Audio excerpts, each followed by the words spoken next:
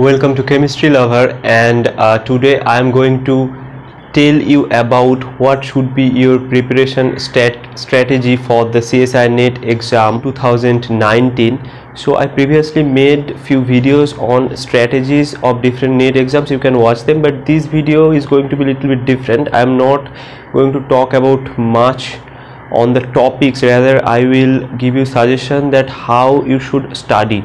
Right i will of course talk about few topics that you should do because these topics are something that you cannot miss. Uh, you cannot afford to miss them. You must do this. So now let me first tell you that. So uh, this video is most important for those who are appearing for the exam for the first time because they doesn't have a clear idea that how they should prepare for the exam. And many people ask me over facebook and other social networking platform that how should they prepare. So this video is dedicated to them. Now if i talk about the preparation strategy so i will tell you my opinion how i prepared and how i think should be the best way to prepare for this type of exams. Now you can have your own strategy and that is absolutely fine but this video will give you some guideline about that. Before that one announcement is that uh, i'm going to start my uh, course in hindi. So lot of people request me to make videos in hindi. So i will do that on Unacademy. I will give my link of Unacademy profile in the description and in the comment section. You can go through this link and follow me over there if I get more followers I will of course make the full course. And later I may also uh, start making videos in Hindi in YouTube channel. So that is in future. But for now I am going to start making videos in Hindi in the Unacademy platform. And also if uh, any of my Bengali subscriber is watching this video I will request them to go through the link of my Bengali YouTube channel and share these uh, videos or this channel with your friends. So this video is in Bengali. So uh, so Bengali people will have a lot of help from that. So now let's start our today's topic that is uh, the strategy. So if I talk about the strategy for the CSIR NET exam so the first thing what I will tell you is that uh, don't just follow someone's opinion. So so the subject which you are comfortable there will be few topics in the chemistry organic inorganic or physical in which you are very much comfortable. Now you may have heard from in someone that these topics are not that much important. Don't don't listen to them. If you are comfortable in a particular topic revise that well because no one can predict that which question is going to come from which area and which topic is most important. They will tell you they will give you a prediction but it is not like that their prediction will be 100% true. So maybe you will get question from that particular topic and if you are comfortable with that if you're good in this topic why you will leave them just like that? So it is not good for you. So this is the thing. Now i will mention you few points that you should definitely consider while you are preparing for the CSIR NET exam. So uh, these I have noted down so here you can see. So first one is read all the topics which you are in which you are comfortable. So this is the first rule right? So first go through the syllabus because if you're uh, preparing for any competitive exam knowing about syllabus is most important. So first go through the syllabus. Then uh, you have an idea that what are the topics included in the syllabus and of course uh, in the CSIR NET exam all the syllabus from BSc and MSc all things are covered. So you have to revise your BSc things. Now in which areas you are comfortable you have to revise them right? The next point is revise all the topics repeatedly. So you have to do the revision process repeatedly because revision has a very strong effect on any type of exams. If you revise topics well that will stick to your mind stick to your head. So this is very important. The third point is you have to make short notes of every topic. Whenever you are reading a topic make a short note on that and uh, when you have free times go through that notes. So you should have a short notebook type of things like that so that will help you. The fourth point is make a separate notebook for question solving. So whenever you are solving questions just just write down the questions in a separate notebook. You will see that lot of questions will be there which will be repeated over the years. So that you have to mark well because these topics are going to be most important for you. So just uh, mark them well then make a formula sheet for physical chemistry. So if we are considering physical chemistry this is very important. You have to make a formula sheet for physical chemistry because that is going to help you at the end point of your exam just before one week or uh, three four days of your exam uh, this formula sheet is going to be help you because uh, in physical chemistry lot of numerical questions are asked in the CSIR NET exam or any type of competitive exams. Next is the so make uh, so practice as much as much question as possible from organic chemistry. So in organic chemistry in my opinion it is more important to solve question rather than just reading books. If you read books you will learn a lot of things but you as long as you uh, don't start solving question papers. You cannot answer the questions in the exam. You may have a very firm knowledge in organic chemistry but you should uh, practice questions and that can also give you a confidence that you can solve any question from that particular topic.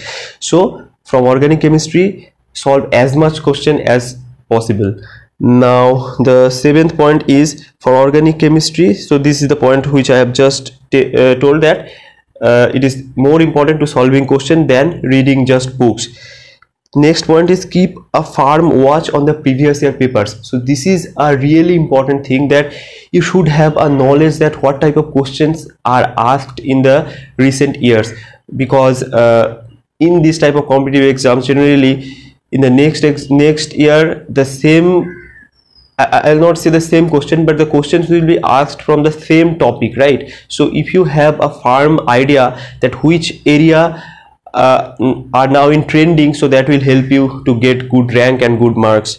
Now uh, give short and long exams. So it is up to you.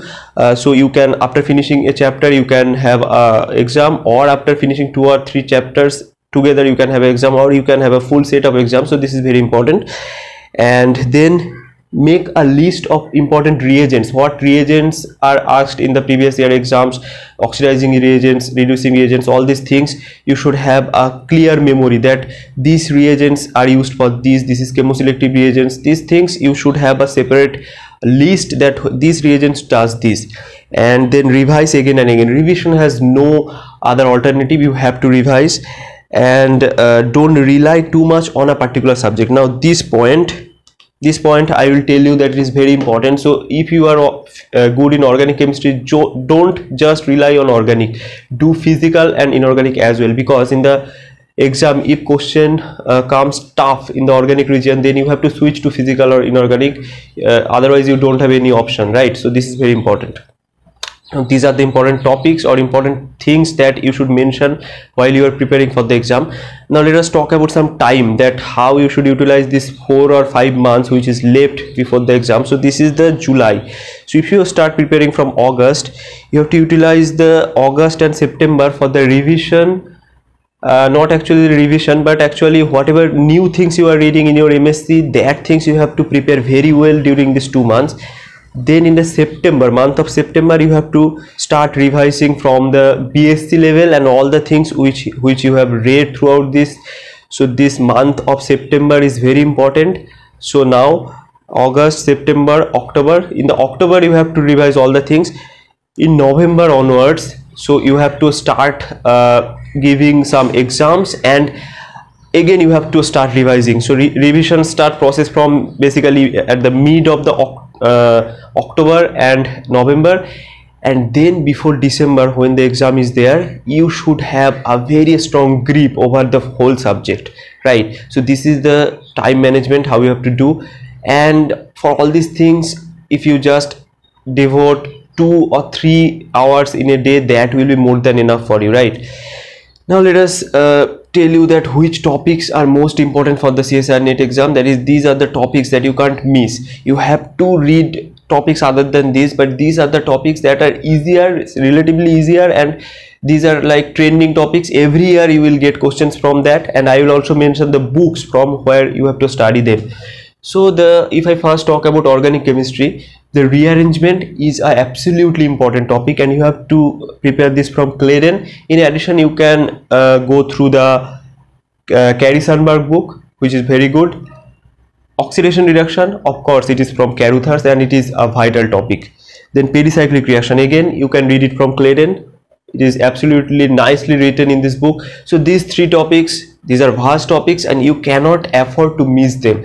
Now apart from that the heterocyclic compounds and all the other things are there but you should prepare them as according to your uh, uh, according to your strength but these topics you can't miss. Now if i talk about inorganic chemistry so organometallic chemistry transition metal complexes these are extremely important. Organometallic chemistry you can read from Crabtree complex you can read from Huheey and bioinorganic chemistry. Again you can read from Huheey and these are the so bioinorganic chemistry is very easy topic you cannot miss them. And in complex you have that cluster carborane borane cluster metal clusters all these things questions always comes from there so you can't miss them. In physical chemistry solid state uh, adsorption isotherms these are a trending topic always question comes from there and easy questions comes from there. Group theory two or three questions will always be from there and you can read it from cotton uh, fa cotton book. Elementary quantum mechanics you should do because you are reading it from your bsc and you can do it from McQuarrie Simon book. Then phase equilibrium and all other things are there. So these are the things which are relatively easier and question always comes from there. So you cannot afford to miss them. So these are all the three uh, parts of chemistry that you should do and all these uh, important things you should prepare now apart from that lot of other topics are there which you will get from the syllabus. And i also made uh, videos on uh, in detail that which topics you should study well. You can go through that videos. So this video is about this. And finally i will tell you that uh, if you just follow this type of strategy that how you, you should uh, utilize your most of the times in preparing for the exam you will get a good result don't worry. And uh, if you need any other support from me let me know in the comment section. And uh, share this video with your friends so that they can also get the benefit. And thank you for watching